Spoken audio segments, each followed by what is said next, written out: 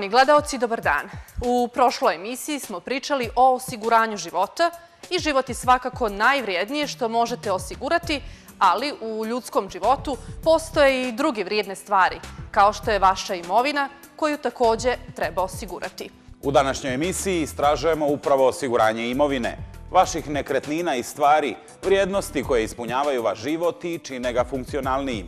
A gost naše današnje emisije je gospodin Slobodan Manojlović, direktor kompanije Atlas Life, jedine domaće osiguravajuće kompanije u Crnoj Gori. Ostanite uz TV emisiju Moja polisa.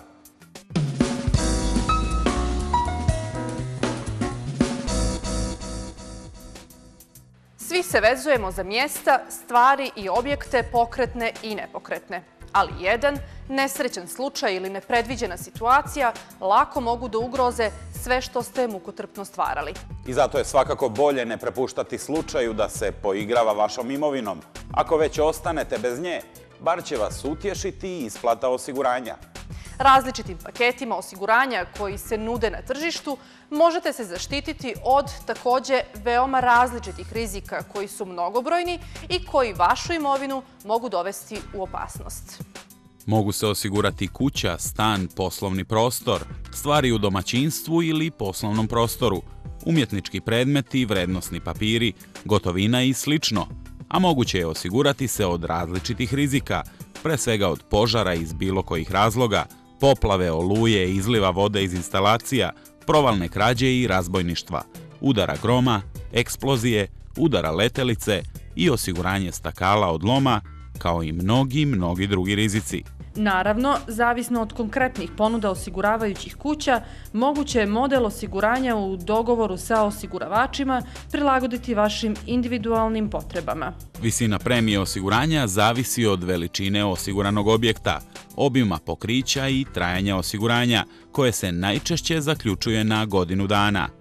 Građanima se pruža mogućnost kratkoročnog ili dugoročnog osiguranja. Kratkoročno osiguranje traje do godinu dana i može da pokrije i samo period dok ste na odmoru, a dugoročno podrazumijeva trajanje osiguranja preko godinu dana.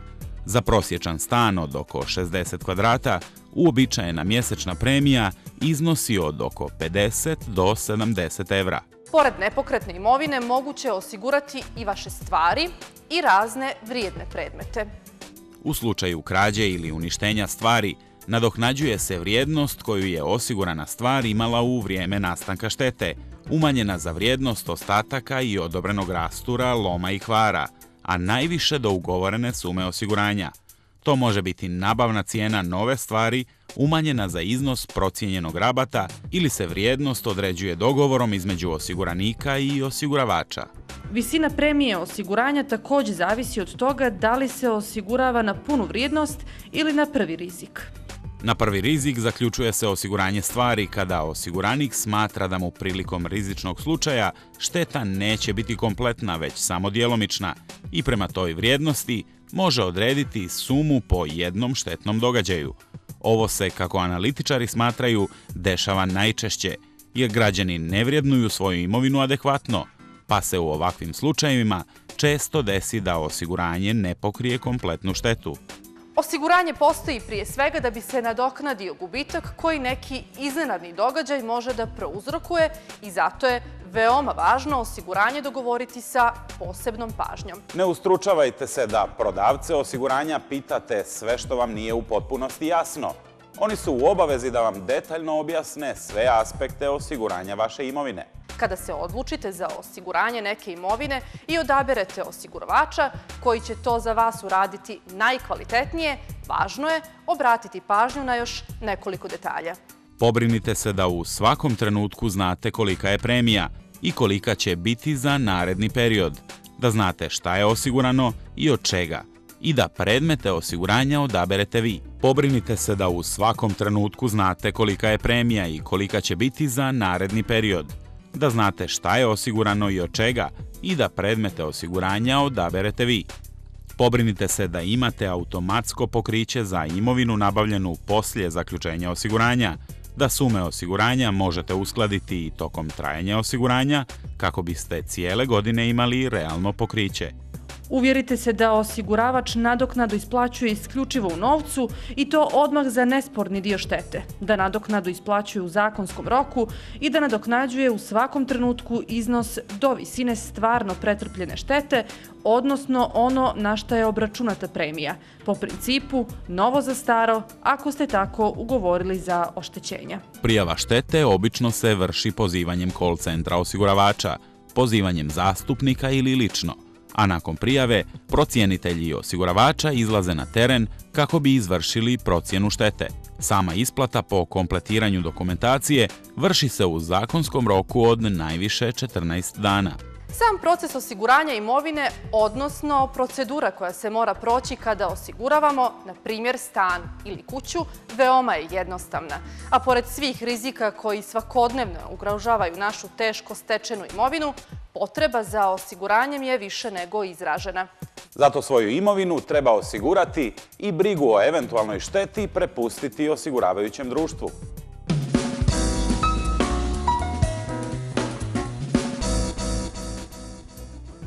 O neophodnosti osiguranja kako imovine pokretne i nepokretne, tako i onoga što je ipak najvrijednije, odnosno života, razgovarali smo sa gospođom Majom Pavličić, izvršnom direktorkom Grave osiguranja u Crnoj Gori.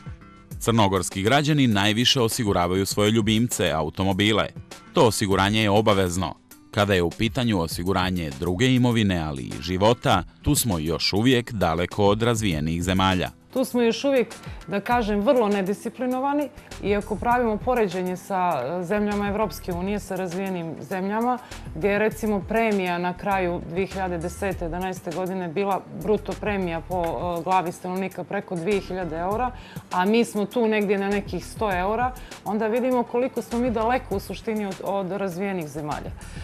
Činjenica je da u evropskim razvijenim zemljama i uopšte u svijetu ljudi mnogo više razmišljaju o osiguranju kao vidu e, prvenstveno štednje, kao nekog rastrećenja i sebe i svoje porodice korisnika u krajnjem slučaju, u slučaju smrti osiguranika. I činjenica je da e, moramo zajedno sa drugim osiguravajućim društvima, sa našom agencijom za nadzor osiguranja, e, što više raditi na toj edukaciji stanovnika. Treba osigurati imovinu, automobil, stan, osigurati se za vrijeme puta, ali možda je jedno od najznačajnijih osiguranja upravo osiguranje života. Često nas pitaju na koju sumu da se čovjek osigura. Po definiciji e, život nema cijenu. Ne možete reći moj život vredi toliko, život, život apsolutno nema cijenu. E, mi kao osiguravajuće društvo imamo da kažem vrlo fleksibilne programe koji omogućavaju našim korisnicima da mogu sami da određuju na koju visinu, na koji iznos žele da im bude osiguran život. Naravno, to ne zavisi samo od želje korisnika, odnosno ugovarača osiguranja, odnosno osiguranika. To zavisi naravno i od finansijske situacije, od finansijskih mogućnosti. Osiguranje života je vrsta štednje. U slučaju da se desi ostvarenje rizika, Osiguravajuće društvo je u obavezi da isplati osiguranu sumu. Da biste kod banke štedjeli, vi ipak morate da stavite neki ulog. Morate imati neki, da kažem, ozbiljan novac da biste imali, naravno, štednju na osnovu tog novca. A ako želite da imate osiguran život na duži vremenski period sa periodičnim plaćanjima, onda je to definitivno osiguranje života. Grave i ove, kao i prethodni godina, bilježi dobit, što je svakako garant sigurnosti sredstava koja građani ulažu kroz polise osiguranja. Čak bez obzira na to kako posluju, novac koji uložite kod njih je na sigurnom. Grave osiguranje e, normalno pripisuje dobit jer ipak je ugovor o osiguranju života vid štednje. Ta dobit se pripisuje od druge godine, i dobit ne zavisi apsolutno od poslovanja društva. Znači, ako bi se u nekoj varijanti desilo da društvo posluje negativno, što računam da je praktično u domenu nemogućeg, uh, naši osiguranici apsolutno su zaštićeni, naši osiguranici dobijaju svoju dobit. Ona ne zavisi od uh, samog poslovanja društva, nije vezana za to. Upravo iz tog razloga mi imamo zaista ogromne rezerve. One su recimo na, na šesti mjesec 2012. godine bile preko 12 miliona. I zaista su naši osiguranici maksimalno zaštićeni u tom pogledu. Naši sadašnji, nadam se i budući osiguranici. Koncern Grave posluje u 13 zemalja jugoistočne Evrope i uvijek je na novom tržištu počinjalo samostalno. U Crnoj Gori su oni prvo osiguravajuće društvo sa inostranim kapitalom. Za osam godina poslovanja kod nas uvijek su bilježili rast. U tradiciji dugoj 184 godine, bez obzira na ratove i probleme, nisu imali smetnje u poslovanju.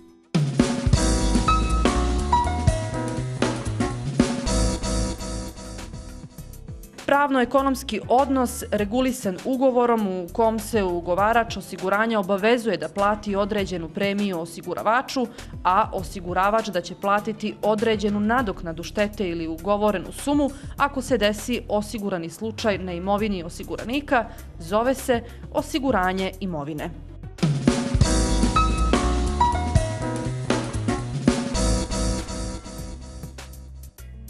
Posjetili smo jedinu domaću osiguravajuću kuću u Atlas Life i sa direktorom ove kompanije, gospodinom Slobodanom Manojlovićem, razgovarali o tržištu osiguranja života u Crnoj Gori i poslovanju kompanije Atlas Life. Kako vi kao direktor jedine domaće osiguravajuće kuće u Crnoj Gori vidite e, tržište osiguranja kada su vam konkurenti na tom tržištu upravo kompanije koje dolaze sa, da tako kažemo, razvijenijih tržišta? Crnogorsko tržište životnog osiguranja je veoma specifično. Upravo to vaše pitanje najbolje će da pokaže specifičnost u ovom kratkom odgovoru. Koliko je meni poznato, a vi možda to bolje i pratite, znate, ne dešava se na ostalim tržištima da prvo dođu strane kompanije da razviju životno osiguranje pa se onda pojavljuju domaće, nego upravo imamo kontra. Domaća osiguravajuća društva počinju da razviju životno osiguranje, i onda strane dolaze. Mi tu kao Atlas Life vidimo izazovi, sigurni smo smo mi njima konkurencija. Tako da očekujemo da ćemo sa tim našim inovativnostima, boljim poznavanjem situacije crnogorskog tržišta uticati da oni svoju konkurentnost poprave. Koliko globalna finansijska kriza utiče na, na tržište osiguranja života na svjetskom nivou i koliko se to odražava i na tržište osiguranja života u Crnoj Gori? Mislim da se globalna finansijska kriza upravo na životnom, na, na, u branši životnog osiguranja ne može i ne treba posmatrati kao što se to o, tretira u ostalim granama, posebno kad pričamo o bankarstvu. Znači svaka, svaka radnja, svaki događaj bilo da je pozitivan, bilo da je e, negativan, zavisno koju mi percepciju imamo, ima i drugu stranu medalje. Sad je samo pitanje koliko. Znači, ekonomska krize je mnoge stvari, mnoga pitanja, mnoge stvari e, urušila ili načerala da se poprave i mnoga pitanja otvorila. Mislim, životna osiguranja da nije su u onoj grupi gdje su ugrožene firme, gdje su se zatvarale, gdje je bilo otpuštanja, velikog broja otpuštanja zaposlenih, jednostavno kompanije su osjetile to u manjem broju novih osiguranika, klijenaka i u možda u smanjenoj premiji. S druge strane, osiguranici nisu oštećeni. Znači, mi generalno o toj industriji ne možemo da pričamo da je sad ekonomska kriza ih ugrozila, da su oni izgubili kao što su izgubili na nekretninama ili akcijama neke. Pitali smo građane Crne Gore da li imaju naviku da osiguravaju svoju pokretnu i nepokretnu imovinu. Nisam ništa osigurao. Zbog čega? Pa, nisam razmišljao što u tom pravcu. Zato što sam strani državljan, ovdje sam na fakultetu i još uvijek nisam ništa ovaj, što se tiče toga osiguravala. Auto se podrazumijeva da je osigurano, jel da, prilikom registracije, ovaj, a imovinu nije osigurana, trebalo bi. I poslovni prostor svakako ko ima. Auto, kuću, Kod koga? unik osiguranje. Sve ste Sve. Pa radi sigurnosti, treba čovjek da izvoji taj minimum, jer ipak rizik je preveliki. Nisam još uvijek. Zašto? Pa ne znam. Nemam neki poseban razlog, ali ću da osiguram sebe. Samo sebe, ne drugo ništa. Samo redovno zakonsko osiguranje automobila, ostalo i redovno osiguranje koje plaćam za penzijsko invalidski staž i tako. Drugo ništa. Automobil, kasko? Ne. Ne. Zašto? Pa ne opravdava vrijednost automobila, posebno neka kasko osiguranje. Automobil, da. A kasko automobil? Ne. Zašto? Pa vjerovatno malo nešto financijski i tako. to je problem najveći. Ja nisam, ja nemam pokretnu, nepokretnu imovinu. Imamo stari automobil. Osigurao sam automobil. Ali jeste li automobil kasko? Ne. Zašto? Nema potrebe, starije je auto, pa onda zbog toga.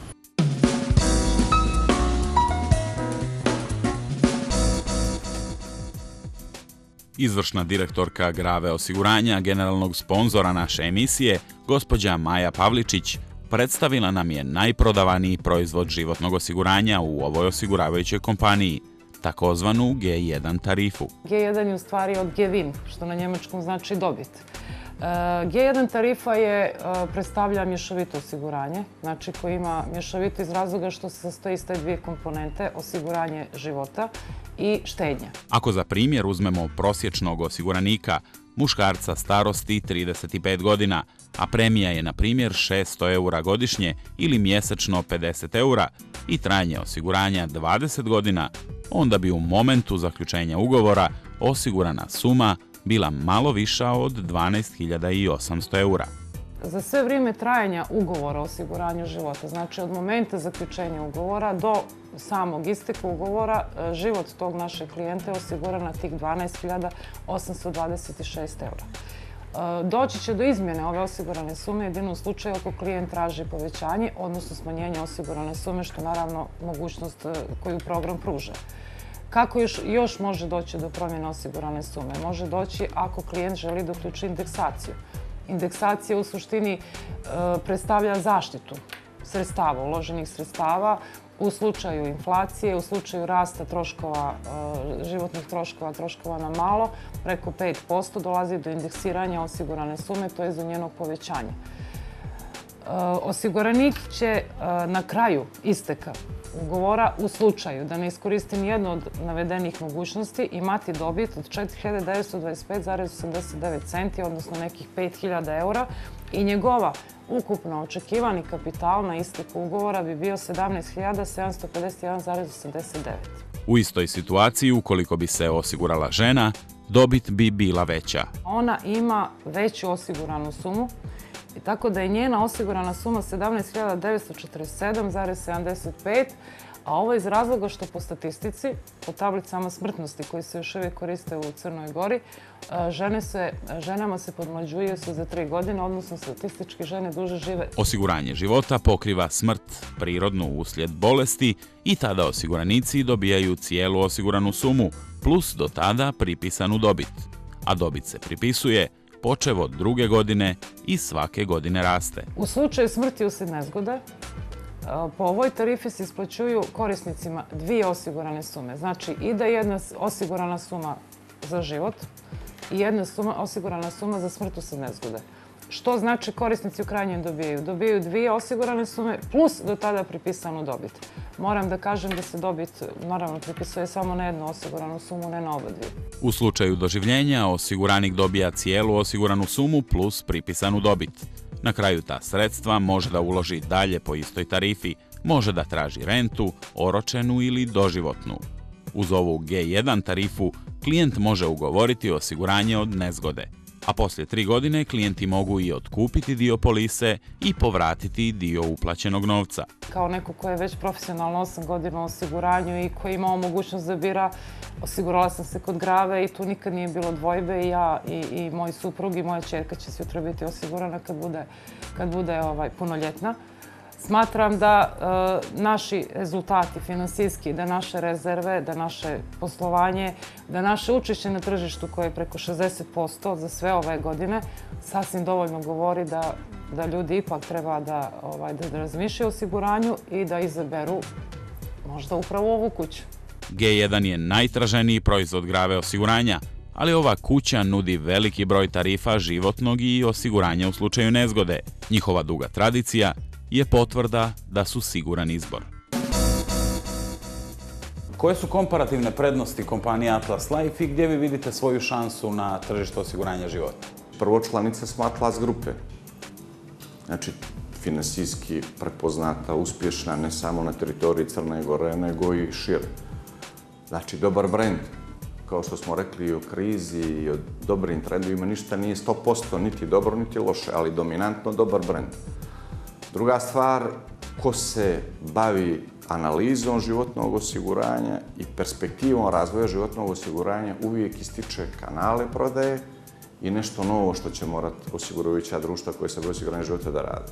Znači, dominantan e, i najperspektivniji kanal prodaje u budućnosti je banko, prodaja osiguranja putem banaka. Znači, osnivač Atlas, Atlas banka, mi u okviru Atlas grupe imamo opštu bolnicu Meljina, jednu jednu od najstarijih zdravstvenih institucija u regionu. Znači, i tu vidimo veliku prednost u odnosu na, ostala, na ostalu konkurenciju, ne samo u Crnoj Gori, nego i u regionu. Kao sljedeću komparativnu prednost, kad su životna osiguranja u pitanju i proizvodi životnih osiguranja koje mora neko da iskreira, da ponudi, mislim da je menadžment i ljudi koji čine Atlas Life. Znači, mi smo ti koji smo iz ove sredine, koji smo imali privilegiju da nas Atlas grupa prepozna kao neke koji mogu da razvijaju e, životno osiguranje u Crnoj Gori i mi sami donosimo odluke. Znači, mi smo brži, efikasniji, bliskija nam je ta matera. Međutim, ostala osigurajuća društva su glomaznija, tradicionalnija, drugačije i mislim da je, da je tu velika prednost, a to će se posebno vidjeti u budućem periodu. Na kom nivou je prema vama nivo svijesti e, građana Crne Gore o neophodnosti osiguranja života? Obično kada ljudi kažu tržište e, životnog osiguranja u Crnoj Gori je na niskom nivou, to je zbog toga što je manje naplaćena premija. Ali iza toga ide zarez, zbog toga što ljudi nisu svjesni. Ja se ne slažem sa tim i mislim da to nije e, pravo stanje, jer naše istraživanja pokazuju da preko 75% građana Crne Gore starostnije dobi od 25 do 55 godina želi životno osiguranje, ali ne vidi da ima adekvatnu ponudu. Znači, svjesnost je na visokom i dovoljnom nivou. Pa kažete mi, kakve proizvode nudi Atlas Life na tržištu životnog osiguranja u Crnoj Gori i da li se prilikom kreiranja tih proizvoda vodite trenutnim stanjem na tržištu, odnosno standardnog građana, ili imate u vidu i neke dugoročne aspekte, odnosno e, e, potrebe građana na dug rok? Mi nudimo proizvode koje bukvalno ne nudi nek, e, ostale osigurajuće kuće, ne samo u Crnoj Gori, nego u okruženju.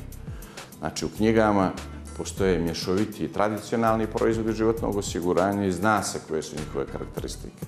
Znači, klijent potpiše ugovor na dugi vremenski period, obaveže se koliko će da plaća godišnju premiju i dogovorio osiguranu sumu. Međutim, svjesnost edukacije tržišta na zapadnim tržištima napravila je proizvode koji su dinamički, fleksibilni, moderni. Znači, sve te tri stavke su marginalizovane. Klijent je taj koji ima jedini pravo na svojim životom.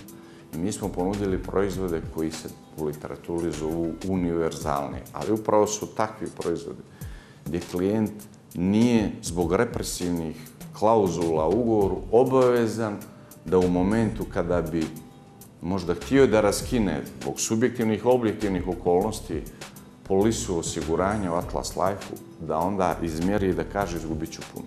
Znači, svi naši proizvodi imaju tu bazu. Znači, klijent u svakom momentu može da upravlja sa svojim iznosom uplata, isplata, kada će se priključiti. Uveli smo, recimo, posebno interesantno, a vi možete to da provjerite, pošto regionalno pratite, invaliditet 100% po bilo kom osnovu.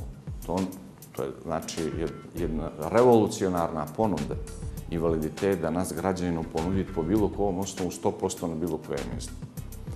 Sljedeća, e, uveli smo grupno osiguranje koje niko ne nudi u Crnoj Gori. Dalje imamo proizvod, jedino smo osigurajuće društvo koje nudi osiguranje od kritičnih bolesti nezavisno od smrti. Znači, mnogo toga, ali, samo da se razumijem, znači, mi smo kao domaće osigurajuće društvo vraćamo se na neko od prvih pitanja, procijenili da mi treba da budemo konkurencija postojećima. Kako možemo biti konkurencija postojećim osigurajućim društvima koji imaju decenijsku i vjekovnu tradiciju? Moramo znatno, znatno da budemo kvalitetniji u ponudi i bolji u performansama proizvoda. Finalno, za kraj intervjua, hoćete nam reći koja bi bila vaša poruka potencijalnim e, osiguranicima, građanima Crne Gore, možda upravo osiguranicima kompanije Atlas Life? Pa dobro, svi su oni potencijalni klijenti nekog od osigurajućih društva. Naravno, ja bih volio da oni budu dominantnom broju Atlas Life, ali to je nemoguće. Znači, ja mislim da građani Crne Gore treba da razmisle o onim izvještajima i konstatacijama gdje kaže crnogorsko tržište životnog osiguranja je veliki potencijal. Čim se priča o velikom potencijalu, znači ne ide se u razvoj, ali nekad mora da bude. Ono što bi im ja preporučio i što svakome bih savjetovao ko želi da, da razmišlja o životnom osiguranju, da se dobro edukuju. Da ne budu e, lijenji da pitaju sva osiguravajuća društva, da gledajući vašu emisiju, slične emisije, nadam se, slične sajtove, da se edukuju. To, znači, mislim da imaju privilegiju da baš u ovome momentu iskreiraju ponudu proizvoda životnog osiguranja koja će biti njima prihvatljiva i koja će ih dovesti u poziciju da ne budu više, da kažem, toliko kruto vezani zbog uslova, klauzula koje su prihvatili. Tako da građani Crne Gore budite malo strpljivi, znači regulator i osiguravajuća društva sigurno će raditi na tome da budete u prilici da se što brže, efikasnije edukujete, ali potrudite se i sami, ima sad mogućnosti na internetu, raznoraznim drugim kanalima da se edukujete i to će biti vaša prednost i to će biti vaš kapital za budućnost.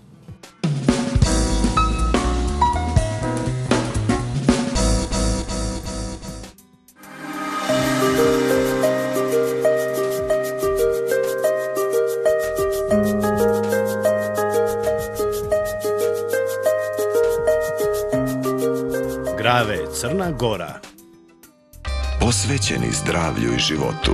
U vaše ruke predajemo više od dvije stotine godina austrijskog iskustva u osiguranju kroz novi program 15+, osiguranje života i 15 teških bolesti sa dopunskim osiguranjem od nezgode.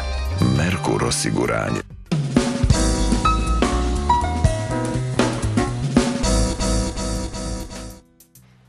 Nije prijatno kada se ostvari neki rizik, kada vam se desi šteta ili uništi neka imovina. Mnogo je lakše podnijeti negativan razvoj događaja uz izvjesnu kompenzaciju novcu koji vam može omogućiti da štetu popravite ili da lakše pokrijete nastale troškove. Zato se potrudite da vaš štetni slučaj, ukoliko do njega dođe, bude osigurani slučaj, a isplata osiguranja će u tom slučaju biti svojevrsna potvrda vaše predostrožnosti i ispravnog razmišljanja. Gledajte i dalje TV emisiju Moja polisa. Prijatan dan!